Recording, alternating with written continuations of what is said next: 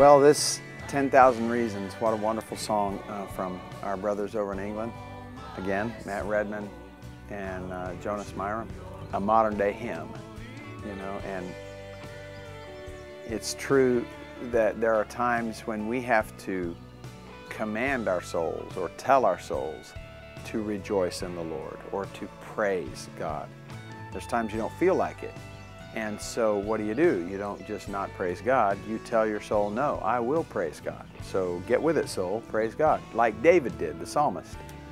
Uh, we find him all the time. I will praise him. I will tell my inmost being, sing joyfully to the Lord. Sing with a loud voice to God and give praise to his name. This song is like that to me, especially, you know, you start out, sun comes up, it's a new day dawning.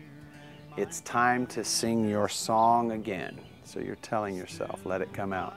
Bless the Lord, O my soul. O my soul, worship his holy name. Uh, so I believe in that kind of encouragement to ourselves because life can get tough sometimes and we tend to forget.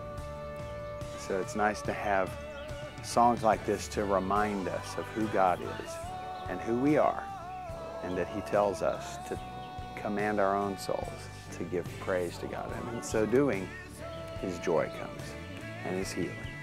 And all the good and perfect gifts come through the Holy Spirit to us as we worship him. Oh,